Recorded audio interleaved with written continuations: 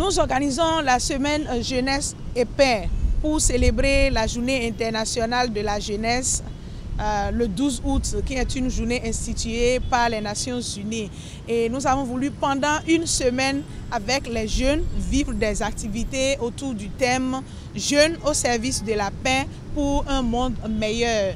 Et l'objectif de cet événement, c'est de sensibiliser la jeunesse béninoise et tout le peuple béninois sur l'importance de la préservation de la paix. Nous invitons tous les Béninois à prendre des initiatives pour la paix pendant cette semaine.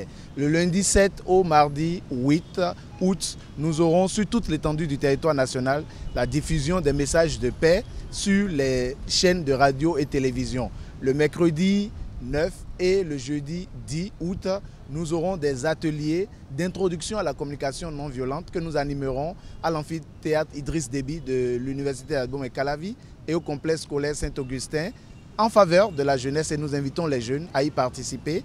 Et du vendredi 10 août au dimanche 12 août, nous aurons également sur toute l'étendue du territoire national des journées nationales de prière par les confessions religieuses et par les organisations non religieuses.